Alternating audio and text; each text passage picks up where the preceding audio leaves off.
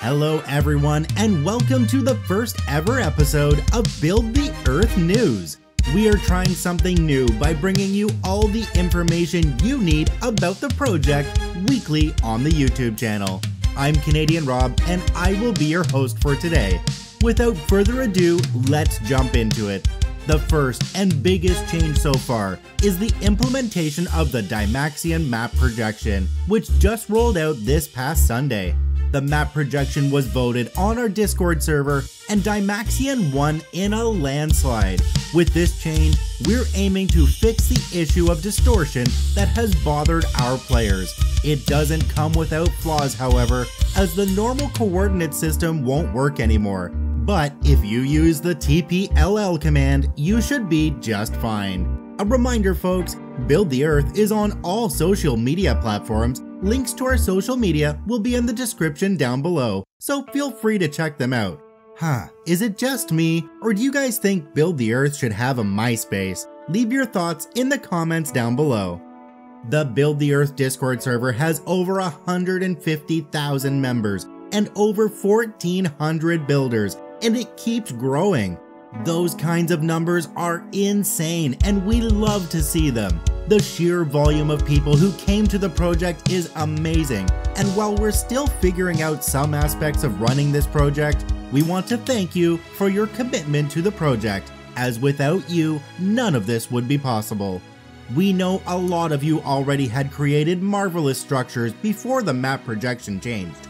Some of them you could see in the background, and we don't want those structures to go to waste. So here is our top 5 builds from the old projection in no particular order. We will begin with the International Space Station by Carbohydration. The build is located 40.8 kilometers above sea level. This creation won last week's Reddit Build of the Week contest, rightfully so.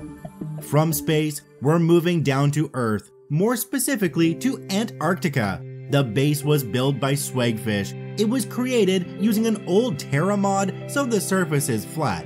But as the creator said himself, Antarctica is flat anyway.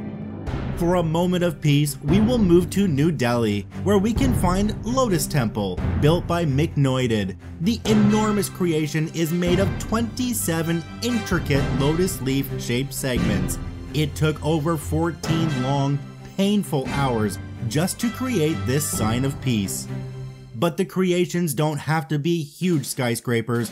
Our players managed to catch the moment with real life monuments, like the Korean War Veterans Memorial or the Vietnam War Memorial by Toastmaster 64. The last build we want to share today is a collab of many people building the entire state of Georgia. For now, Atlanta has the most care put into it, but we're sure the other parts will see development soon. They also collabed with University of Georgia to build the campus for their graduation, after which UGA students will help build Georgia themselves. They've done so much work, it's amazing. We can't fit all the marvelous builds into one video, but we appreciate everyone's effort and want to show off some of your creations to the public. If you want a chance of having your build featured in the next episode of the Build the Earth News, go to our Discord server and head to a text channel called Showcase.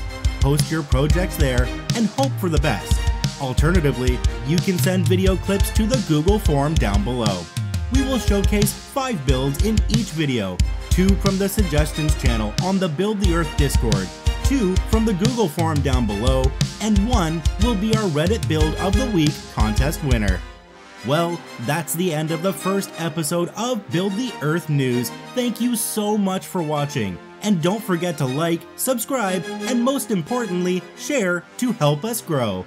And remember, the server IP is